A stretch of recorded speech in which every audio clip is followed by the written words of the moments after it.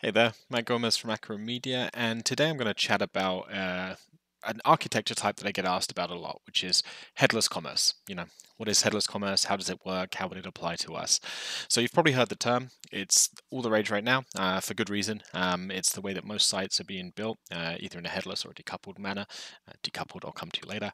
And uh, effectively, what a what a headless commerce um, architecture looks like is that typically with e-commerce sites, if you think about something like um, you know, a, a, Shopify or a BigCommerce, a basic all-encompassing e-commerce platform.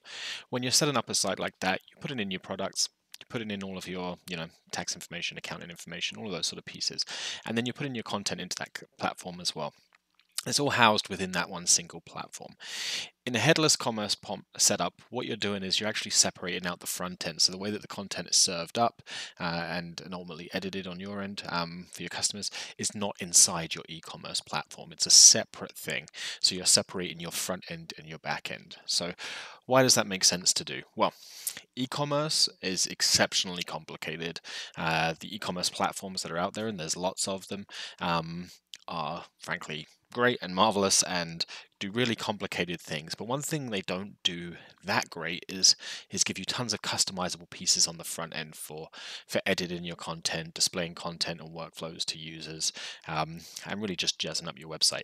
So they're really strong on the core e-commerce functions, and they all have slightly different value props of what they're really good at.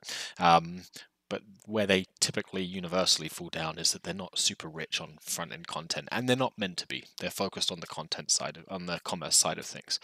So by doing a headless setup you're effectively using other platforms to serve up that content on the front end and it can give you really um, really rich experiences for your customers. So rather than just being able to customize a you know a basic kind of page template and a product page and some categories you can do all sorts of things.